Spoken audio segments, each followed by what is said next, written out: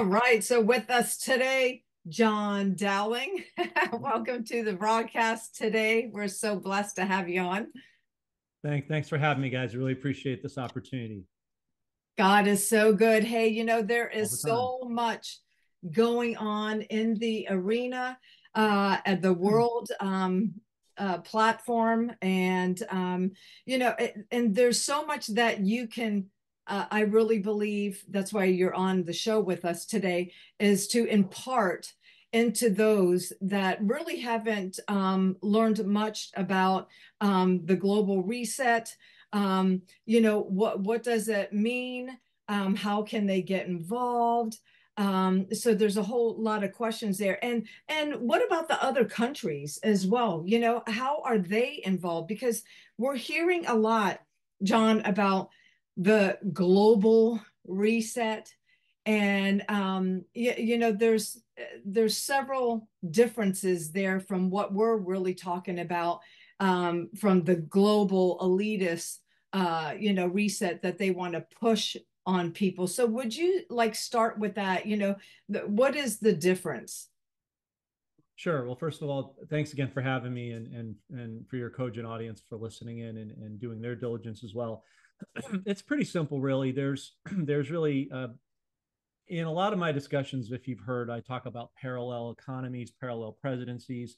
Good and evil has its own parallel. So start with that component. There's the Great Reset, which is run by the cabal, the Illuminati, and George Soros, and the World Economic Forum, the International Monetary Fund, the BIS, Bank of International Settlements, and the, the UN. They are all basically spokes of the same wheel and they, basically they're they've been trying to push for decades what they call the uh, the Great Reset or Agenda 2030, which is basically uh, digital economy, uh, you know, central bank digital currency. You'll own nothing and be happy.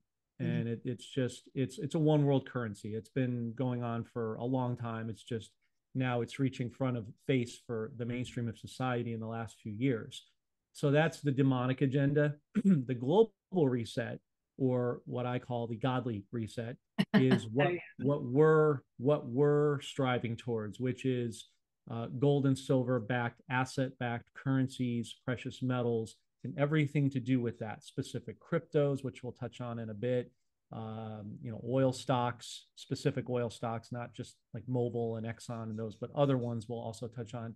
Specific exotic bonds, which we'll also touch on. All of these are comprised around God's money, Haggai 2.8, the gold and silver mine, like we talked about on Sunday, which is really gold and silver, platinum, palladium, copper, and several other precious minerals that God made since the beginning of time. So we're going back to a decentralized economy where countries can be free of the deep state dollar, free of the globalist agenda, mostly free from Satan's henchmen and minions control and uh, subjugation over the entirety of the world. It's it's in parlance, it's an east-west reset. So the wealth of the West, meaning U.S., Canada, etc., uh, and even England, uh, most of Europe, is being fleeced away, and all these nations are uh, de-dollarizing, as we're seeing, and saying, "No, I'm not right. doing anymore. We're going to back our currency and whatever we grow in the ground, produce, metals, uh, plutonium, what have you." And that's the godly reset where, uh, as Kim Clement said, when things seem at their worst, I will free my people. And we're mm. we're starting. We've been in process for a while, but in 2024 now, I can say with pretty good confidence, we're at the tipping point as to where the wheat and the tares will separate. So that's the the genesis of the difference between the two. So, in order for this uh, global reset to happen, does the um, uh, the currency, the fiat currency, have to tank um, before that happens, or can that happen anytime? Well, it's important. It's important, Francine. We first of all do know, since we're on, we're talking on a skeletal level of defining things. Right. We've already been in the reset for a little bit. We're just taking the next step now. We're we're in we're bottom of the first, top of the second now. Phase two with the currencies. So just an important point to make as a demarcation. But to your question, we have to see the US dollar uh, push back on the index. It has, it's like a dance floor. It, it has to come off the dance floor to make space for these other currencies to come in. We're not going to see the dollar completely go to zero, but we will see uh, I would say 50 cents on the dollar. It'll be it'll be a major correction, which will be more. We only really need 30 per 25 to 30 percent would do it, but we're going to see, I think, in the next. Be conservative and say 12 months. We're going to see uh, uh, the dollar take a 50 percent haircut um, because it's not backed by anything. Our strength used to be uh, in the fact that we could subjugate the world with the fiat dollar and our military. And neither one of those has any power anymore, which once again is why the rest of the world is pulling away from the US dollar and America as a whole. Yeah, right. I know that Iraq just, um, I mean, totally switched over to the BRICS on January 1st. And that's a huge move, isn't it? Well, they they they haven't fully they haven't fully been adopted into BRICS yet, but they're headed that way. Iran has been. We'll touch on that in a minute. Okay, but what yeah. they did say is yes, as of January 1st, no dollars in and out of country. So if you're a businessman and you've been established, if you got dollars in before January 1st, you can probably get those out. But any new business ventures, any new opportunities, totally done. And same with Saudi Arabia. Saudi Arabia really put their their tent in in the sand or the flagpole in the sand, if you will, and said, uh, you know, we're we're going with the uh, petro yuan. We're done with the petrodollar. So yeah, both of those those countries are certainly um, in in the realm of the BRICS or, are already established. But yeah, both both have have made a decisive move in that in that area. Mm-hmm. So um, I'm kind of taking over the floor. That's kind of like that evangelist, uh, you know, type thing. Give me the mic, you know, and they're trying to pull it away from me. But um, uh, so where does that leave uh, the United States of America? In terms of well, in regards to, I mean, because we're we're not backed by gold and silver yet. So, I mean, what what happens to our monetary system? It's it's going to change. I mean, it's going to have to change. It's going to it's going to have to break down and then be rebuilt. They they've got a parallel system in place for that to happen. But again, as as Trump said, as Q has said, USA will be the US will be last, right? With I mean, you're already seeing debt forgiveness happen throughout the world. The US will be the last in the in that phase. Likewise for the the transition. We're going to see um, I don't know if it'll be a full economic crash of the of the stock market this year, mm-hmm. but it would not surprise me to see um, 25 to and I'm, being, I'm giving a broad range 25 to 45% uh, massive pullback on the market. Um, we're going to see the dollar, like I said, go to about 50 cents. Um, we're going to see, um, and this isn't to, be doom and gloom. I'm just trying to answer sure. your questions honestly as I can. We're going to see a lot of layoffs. Uh, mm-hmm. Uh, we're going to see uh, the commercial real estate market here in California is already imploded, and it always starts here. You're going to see the housing market take take a major bath. Um, people are not buying new homes they're not buying existing homes so why would they buy new homes so the great the, the it sounds like a bad thing but for those who are prepared which should be your audience for the mm-hmm. 1% which is roughly here's how i look at it um, 1% of our population knows about this sounds like the great depression doesn't it right because it historical replication it kind of is right i would say out of that 1% one tenth of 1% is prepared to laterally move when the wealth comes in to go out and position themselves with land, with metals, with weapons if necessary, heirloom seeds, growing your own food, becoming. My goal is to help God's giving people cross the finish line. In order to do that, we have to understand how things work and fully capitalize on the, the opportunities God's giving us, right? So that's what we're here to do in a continuation of meetings is to, you know, put those puzzle pieces together. But yeah, the U.S. This is going to be a very dark time for the world and for the U.S. right now, which is why I wanted to be on your show because I want God's giving people to be the light in the darkness, mm-hmm. right? If picture a concert, pitch dark, the lights go down, everybody's phones go on, you know, flashlight, or in the old days, the the the lighter, you know, and for like the ballad, light in the darkness. That's what we must be in this time for our neighbors, for our friends, for our families so the US is going to be in a very vulnerable place for a little while, but it will rebound and we will be part of the catalyst for that change and rebound. Amen. Amen. Jon, God has given you uh, Joseph anointing uh, to help prepare the people for the, the, years of plenty and years of lack. Could you mm-hmm. go into a little bit about how you, how I guess how you were anointed with that, or what God just shown you to help the people? Because you, we were talking about it before. Last, I think the other night, um, how people are gonna, a lot of people are gonna lose all their wealth. They're just mm-hmm. not prepared. Yeah.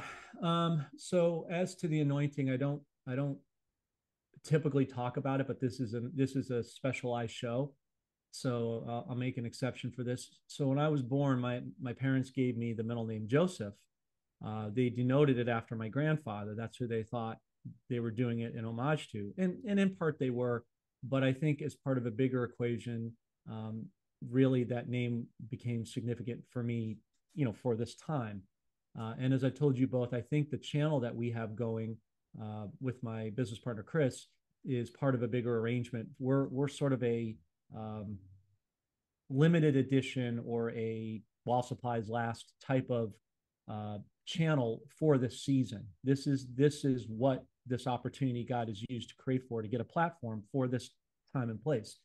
So you know the Joseph anointing, I, I kind of always had these very vivid visions and dreams as a kid that nobody could understand. I couldn't tell anybody about it. If I did, they thought I was weird or they it, it was always sort of judged for it. I would share things with my cousins like, "Hey, guys, I see this and this happening," and they they didn't know what I was talking about. They tend to ostracize me, and and and so it, it wasn't something I was comfortable with as a kid. I understood. I didn't. I didn't understand the full impact of it, but I understood that there was a gift, there was something unusual that God gave me. But it just like anything else, it needs to be honed and matured, and like our faith over over a you know a prolonged period of time. Uh, it wasn't until you know my twenties um, when I had graduated college and went back home to save money, and my parents approached me and they said, "We, just as an as an anecdote, you know, we want to um, we want to send you to Tennessee for a year. We'll pay for it to get you started in your journey in music." And I was really you know, Nash, uh, Franklin, Nashville has been on my heart, as you know, for some time. Um, so as a, a, you know 23, 24 year old kid, this was very enticing. Um, but I said I need to go pray about it, right? And I sat on my hill in my hometown that overlooked the cliffs and the mountainside. It's very beautiful pastoral area, and I I just sat and I asked the Holy Spirit, "What do I do? What do I do? I you know I don't know what to do here." And I like sat there for like not like Moses or anything like that for you know a prolonged period of time, but you know for a young kid, three days is a fairly significant amount of time. And the Holy Spirit just said, "Right place, wrong time," you know, and I just had to trust that.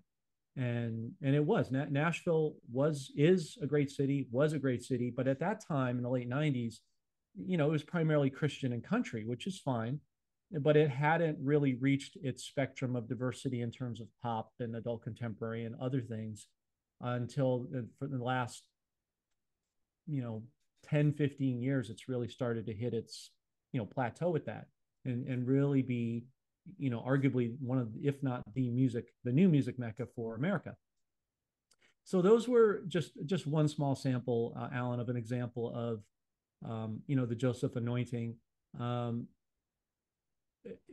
I had been around finances most of my life. My my parents owned businesses. My dad was an executive at Hammermill Paper. Uh, so one way or another, I was always around business and finance along with the music.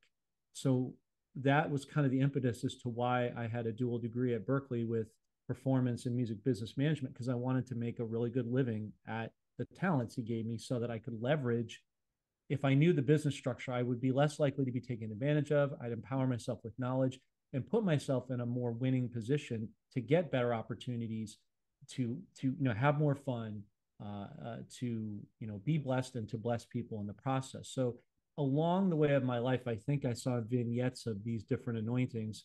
Um, i'm not sure where that full mo- full moment came of, of joseph but i saw like i said little clues and examples here.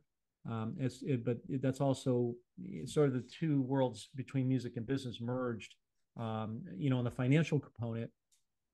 Uh, let's see, as far as this movement goes with the wealth transfer, uh, I was meeting with uh, different investors, angel investors primarily, because venture capitalists tend to look at solely the bottom line and they're looking at corporations versus single entities or individuals. Angel investors typically are also wealthy investors who might want to take more of a flight of fancy on an entertainer, an artist, an actor, an actress.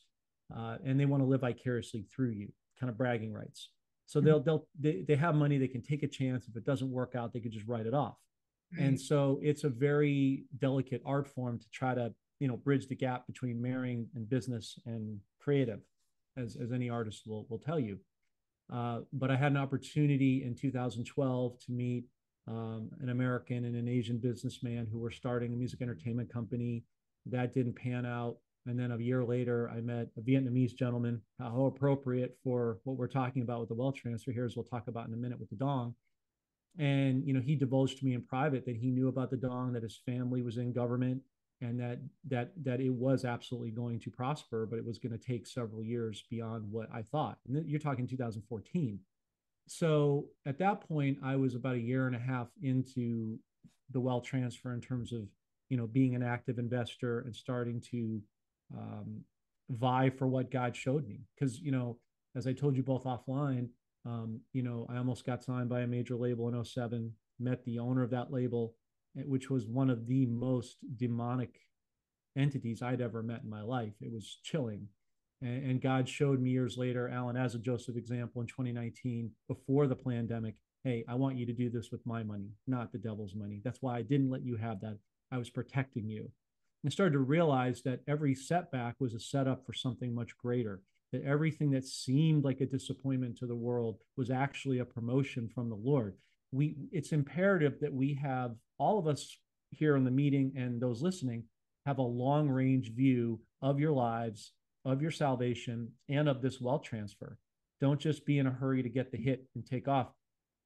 You know, it's going to be like uh, checkers right? When your kids play checkers, you move from one piece to the next to the next, and you're you're moving expeditiously across the board to get to the end game, but you're stacking as you go. I, I think that's a fairly appropriate analogy for what we're dealing with. Is you know, don't just you know get the dinar and say, okay, I'm out. I mean, th- this wealth transfer is so vast and so deep. Yeah. And it's going to go on for a number of years. If you're not convinced, ask yourself why did Iraq do a three year budget? Well, hmm. two reasons. One, because we're going to see this wealth transfer extenuate over a period of, you know, three, four years. And two, uh, it gives the Iraqi citizens or the residents there three years of peace before the Iranians come back in and take over. So, likewise, how does that sound familiar in America? Right. Well, we're we're what is what happened with Joseph in Genesis? Seven years of plenty, seven years of famine. So to conclude, um, Alan, with your question, I think the basis of it, I feel that one of my roles in moving to Tennessee, other than music, other than meeting my future wife, other than having kids, other than uh, you know being a leader in my church community, Bible study, and all that entails with that, is there are some initiatives that I can't talk about here um, online, but that God has called me to, and some of that land will be allocated for storing up the uh, the storehouses of treasure over the next six years, you know, before 2030 hits, because we're going to need. It, it's not an option. We as Christians must be our own central bank. You must own. I don't care if it's one acre or ten thousand acres. We mm-hmm. must own land. You must be self sufficient as much as possible. And that's why God's giving us this wealth so we can focus on what He's got us to do with the talents He's imbued us and not be beholden to the government, be beholden to the central bank, beholden to the old status quo. We we must separate as the wheat from the tares right now in this season. And so that's why I say we I say we have about three to four years of this wealth transfer extenuating out because you have 209 countries. I know some people think, oh, it's all going to happen at once. Well, first of all, that's not going to happen. That would be insider trading, number one. Mm-hmm. Number two, more importantly, I believe that God knows that not everybody is at the same commensurate level. Some people don't even know what the dinar is. Some people are new to this, right? And so some people are going to miss out on the dinar or the dong or the zim or other things. And so he's going to give his people, just like salvation, as many opportunities to jump in at this wealth transfer, what and whatever um, uh, we'll call it financial puberty state uh, you might be in, and and take advantage of wherever you land and move along the pieces until such time as God says enough. And, and that's when you need to be using your talents uh, for when the famine comes and, and just be ready for his inevitable return. So I know it's a long answer, but there's a lot it's inside. of I wanted, being the first time on the show, I wanted people to get a base uh, to understand good. where you're coming from. Okay. Sure. That's really, really good. And I love what you said. Um, eh, you know, when when these funds come, the whole purpose of this is is not to, wow, I'm getting a new house, a new car, and and I'm just gonna spend like crazy. No, I believe God has given us this financial blessing to be a blessing to others you know to to help like joseph you know i mean with the with the food and uh, being like you know a co-op to where you're able to to share within the community and help medically and and so forth i mean that's what it's it's all about wouldn't you say Well, absolutely. And if you don't mind, Francine, I just want to interject two uh, addendum points to what you just said. Um, I don't think God is against us having nice things, but it's it's what where does when when He gives us fertile seed, are we planting it on fertile soil or is it on barren ground? Where does the seed die with us, or, or how far does it extenuate? Right? Um, it's just like the the uh, the old airplane adage, right? In the event of a a crash, you know, the put your mask on before you put on somebody else's, right? If you're dead, you're not going to be able to help your neighbor. So you've got to get yourself in a good position, getting out of debt, um, getting, you know, like I said, get, getting land, getting reliable transportation, you know, et cetera, et cetera. It's not, you know, if you want to have a nice car, that's fine. But remember, um, humility and being understated, which I'm sure the majority of your audience understands, is paramount because you because you are drawing attention to yourself, right? You don't need to draw people's attention to the fact that you've come into stuff because it makes you a target. You know, so that being said, God is not against you having some form of opulence. It's just that can't be where it ends. There has to be uh, that's a leaping, you know, post, right? And uh, there was a second point that you made. Uh, can you just repeat that again, please? The last point. um, that it's basically uh, um, to be used, you know, for those times of famine to where we're able to, um, you know, uh, It's- help it's- our community and It's a harvest field. yes, It- right, It's a harvest. It, it's you know you get more with honey than you do with vinegar. right. So if you have something Yeah. to, you know, bless the people with, they're more likely to be open to hear what you have to say. about the gospel, especially. Well, yeah, I mean, because that's that. Thank you for that. Yeah, because this is this is to me this is a two part thing, right? It's like two sides of your brain. One side is the financial, but the financial portal opens up what we're here for, which is the harvest of souls. Because as we talked about offline the other night, people are going to be losing. You asked about the state of America. It's going to be a total fleecing of the old ideological mentality of my car, my house, my wife, my husband, my job title, my address defines who I am. No, no, no. Your heart, your submission, your talents, not of your natural mind, but that God imbued you from birth, right? Because we're not here to pay bills and die. I guarantee you that's not why that was not part of the plan. That's the mind washing and brain control of the Yeah. enemy to get people bogged down in fear. That's why the church is struggling Mm. because so many churches are not teaching that they're saying, oh, money is evil. No, it's not. The Right. idolization of anything above God, your wife, your kids, that's idolatry if it goes ahead of God. God's not against money, He made it. God's not against sex, He made it. It's what's the purpose of it? Why, how are we using it? Right. So, one of the things I always talk to my friend John G, a fellow Joseph, about is, you know, Matthew 7 6. I had to learn that lesson, folks, over the last 10, 11 years, reinforced time and again. Do not cast pearls before swine. Why? Because it will trample your feet like pigs. Be discerning about who you share this with. This isn't a Sunday dinner table conversation with your family unless they're completely on board with you and they're on the same path, which, as far as I can ascertain, most are not. Certainly not in my case. Right. I mean, my mother is, but the rest of my family, you know, they're four sheets to the wind somewhere with they just they think whatever they see on the tele vision is the truth and nothing to see here, you know, Right. just you know, and and that's why I said this will be the year of uh, uh, of shock and awe, vindication, weep from the tears. The impossible will meet, be, be made possible by our Lord, as always. Um, but uh, yeah, be discerning about who you talk to this about, who you share this with, and to what degree, because it's in the beginning when I started this, I was real gung ho to share it, just like the gospel, right?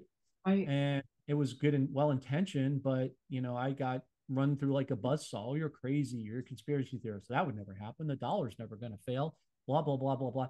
People have been in this system for we we haven't been by the way side note but connected we haven't we're we're not a democracy we're a constitutional republic most Amen. people don't even know that maybe i'm sure a lot of your listeners do but the whole of society 99% doesn't realize that so we haven't really been free since 1871 mm. since ulysses s grant right, right? or right. changed over right we've still yeah. been on the british system just like canada just like many other countries have been enslaved so you're talking about a wholesale separation this is going to take time the wealth transfer it's going to take time the cleanup the awakening process for people to realize people in in general are very prideful. They don't want to admit they were wrong because if if if if you chip away at, at an undercoating of their of their reality and that starts to flick away what else is behind that? And, and then it involves change involves work. And those who are willing to do the work those who are willing to sacrifice be patient put in the time and persist in in what god has them to do will be exceedingly and abundantly mm-hmm. rewarded ephesians 3 20 21 but anyway that's that's my response to your last question yeah no.